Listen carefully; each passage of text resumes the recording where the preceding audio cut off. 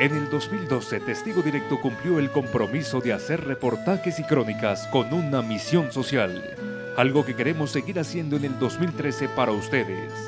Gracias por su fidelidad. Feliz Navidad y próspero año.